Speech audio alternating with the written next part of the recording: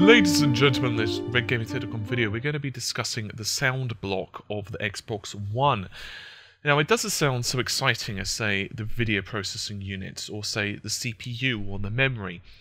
But in actuality, the audio is incredibly important, not just for those who really have uh, great surround sound setups, but also for those who enjoy high frame rates in games. What? I hear you scream. How can that make any sense? Well, in the previous generation, so that, that of course would be the Xbox 360 slash PlayStation 3 era, it was well known that the audio was extremely uh, hungry for processor resources. In fact, some developers had actually stated that the Xbox 360 had one of the hardware threads completely dedicated, we're talking about CPU hardware threads, completely dedicated to audio processing. So you can imagine just how much of an impact that made for other applications, for other processes that are running. In other words, it reduces, for example, physics or collision detection or whatever else is going on in the background. In other words, this drastically frees up CPU resources and obviously Anyone who knows anything about technology will tell you that more CPU resources available are only a really, really good thing.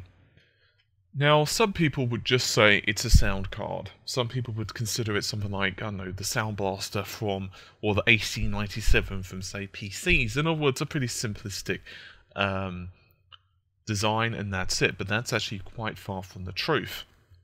It's actually kinder to say it's more along the lines of, say, a DSP, or also known as a digital si signal processing. I'll say that again digital signal processing block. And the key behind this is known as SHAPE. That stands for Scalable Hardware Audio Processing Engine. Quite a handy acronym, I'm sure you'll agree. The premise here is that not only will you get a lot of flexibility, but the developers themselves will notice significantly less CPU impact for processing complicated audio. And for example, at 48 Hz, you're going to notice that 2.67 ms audio frame of delay, in other words latency, and this is uh, very good in comparison to the Xbox 360s. So Shape itself uh, operates on blocks of 128 samples, and they support a 24-bit integer, but it's 32 if it's using the CPU.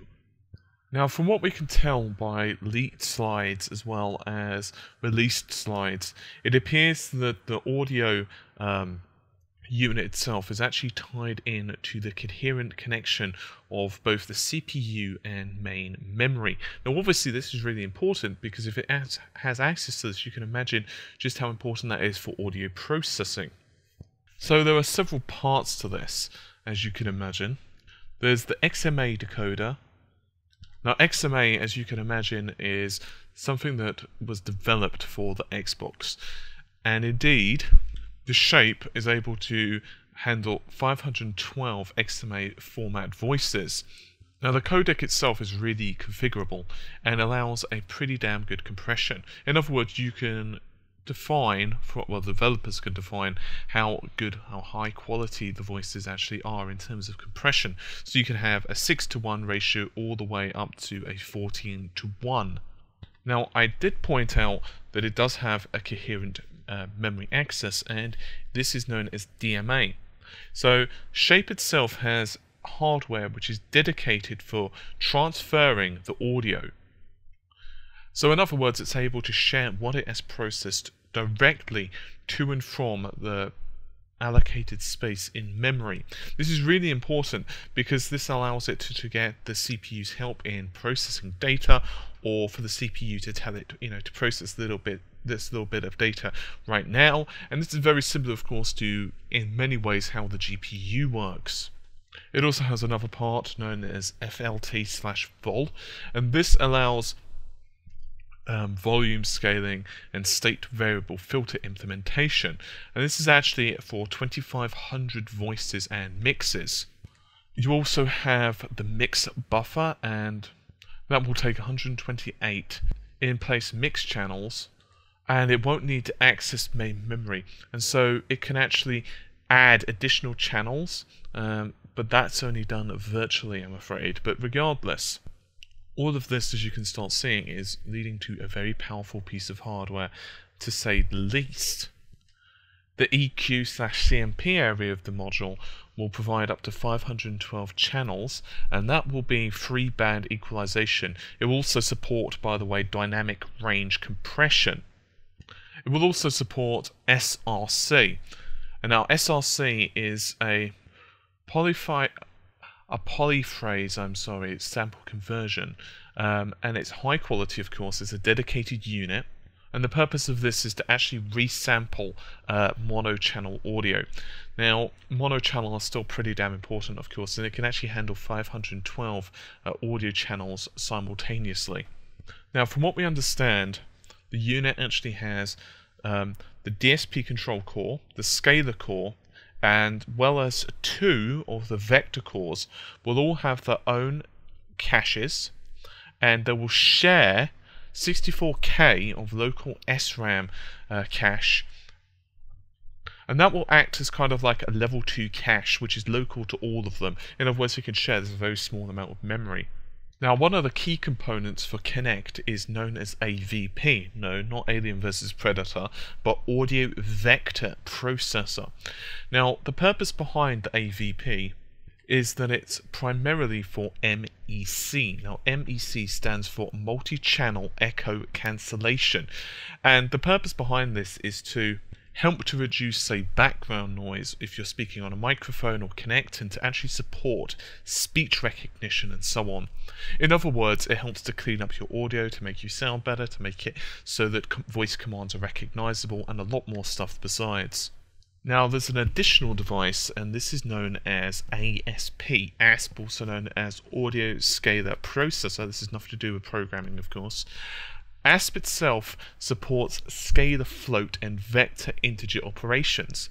Now, think of it this way voice chat codecs, and we're talking about those which are wireless communications, for example, your headset, or for example, on the actual console itself, which are being sent on, say, network. So let's assume that you're playing online on, say, Xbox Live and it needs to send data to and from the wires. The best thing to do is to actually compress and decompress this data. Why? Because it simply makes communication simpler, smoother, and faster. Obviously, if you're sending large amounts of data down the wires at the same time, you're going to get some delay. And this is the same if you're doing it through the headset, so it's better to actually compress this and then decompress it later. So the idea behind that is pretty simple. Now, it also supports XWMA, compression and that's in hardware. Now to give you an idea of just how much of a difference this makes, back in the day, uh, this was actually done only on a CPU uh, for decoding, and that was on the Xbox 360. Remember how I was saying just earlier how the difference between CPU, um, or how much should I say, the CPU uh, resources were being taken up, and this is just one of the reasons for that. Now I'm going to save ACP for now. ACP, also known as Audio Control Processor. What the hell does ACP actually do? Well, it, the name's kind of a good giveaway actually. The idea is this helps to schedule, to figure out the state of what's going on for all the other pieces of audio components in the actual system. It will also be able to do other bits and pieces, such as, for example, setting up new audio streams and so on. And CPU involvement in this is actually pretty much unnecessary. Now, from what we can understand, Microsoft have pretty much designed this whole unit, the whole audio block themselves from the ground up. Now, it does appear that, and this is unconfirmed by Microsoft, but the rumours that are going about indicate that the actual unit can handle about 15.4 G-flops will mean that the unit is using, or operating, I'm sorry, at about 500 megahertz. Now, one of the reasons for such a beefy system uh, is because of audio positioning.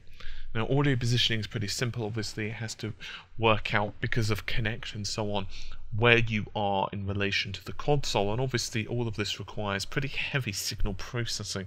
Hence, why there's such a beefy audio unit inside the system.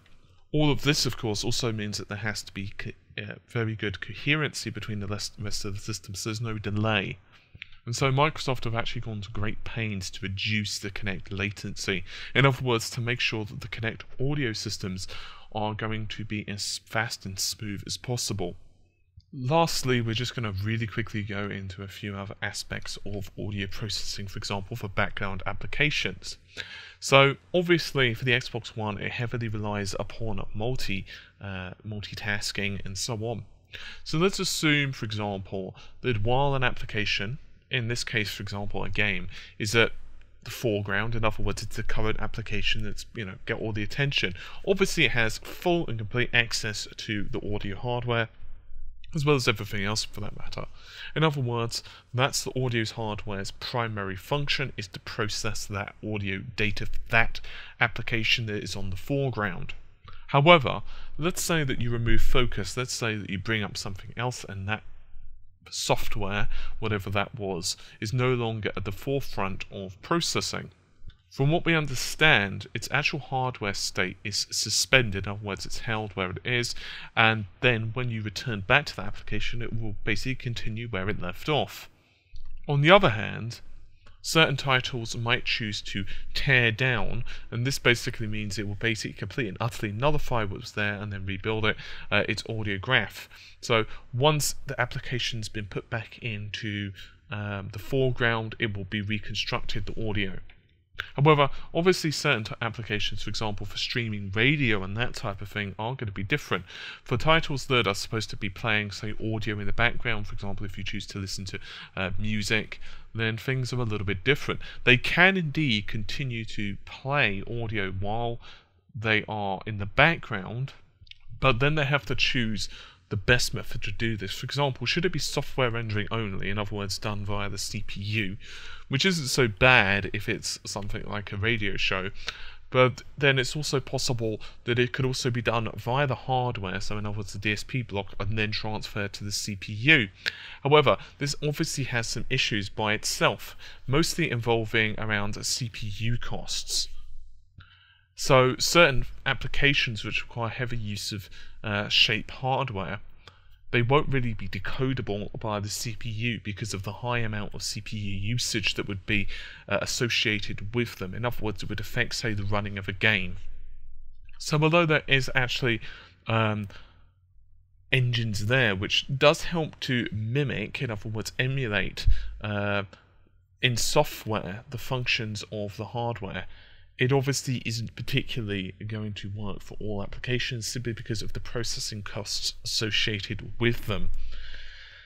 I think that just about does it for this particular video. It's been a fairly brief whirlwind, but regardless, I think we've all got a reasonable understanding now of the audio hardware, so I'm going to get going for this particular video. Hopefully you've enjoyed it. I will see you soon. Take care. Bye for now.